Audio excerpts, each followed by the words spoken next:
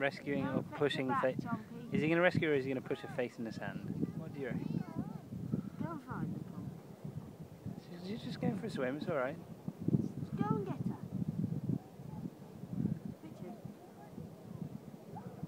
Richard. What?